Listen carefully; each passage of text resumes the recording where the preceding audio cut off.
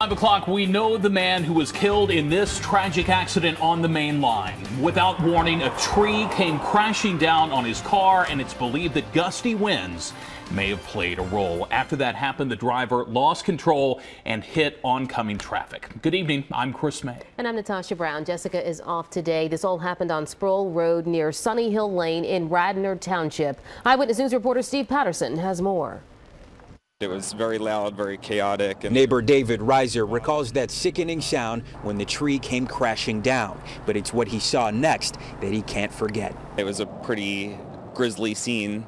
Um, so, I, you know, I started trying to process, you know, what could I do to help, and the police were here so fast. Tuesday, police identified 54-year-old Narcissus Mothersill as the man who was driving this car.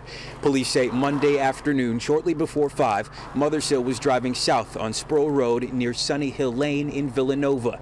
It's when this tree suddenly uprooted, landing directly on top of his car.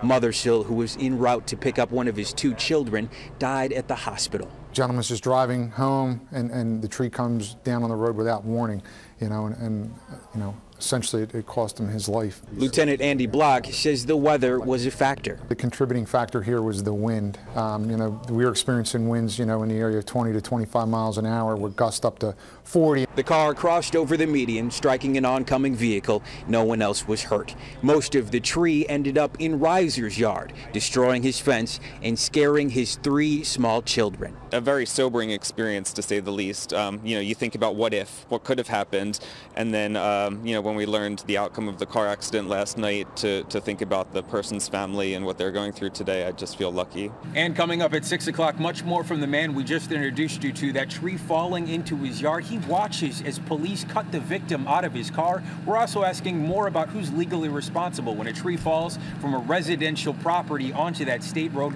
landing on top of the car. For now, reporting from Radnor Police Headquarters, I'm Steve Patterson, CBS 3 Eyewitness News.